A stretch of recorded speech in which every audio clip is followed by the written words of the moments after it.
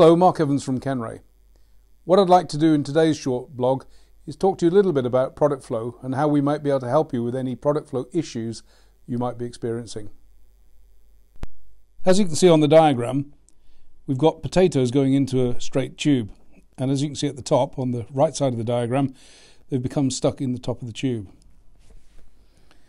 So what we've been able to do in this particular instance is redesign the angle of the inlet so that combined with streaming from the weigher, the potatoes can flow freely through the tube. Looking on the diagram on the left, we can see a typical high-speed snack tube. So not only have we altered the inlet angles, we've also cut out the back of the tube to allow the product to fall through the tube freely. Another way of removing blockages is to use a poker. This is being demonstrated in this clip. Thank you for watching. I hope you enjoyed the short blog on product flow.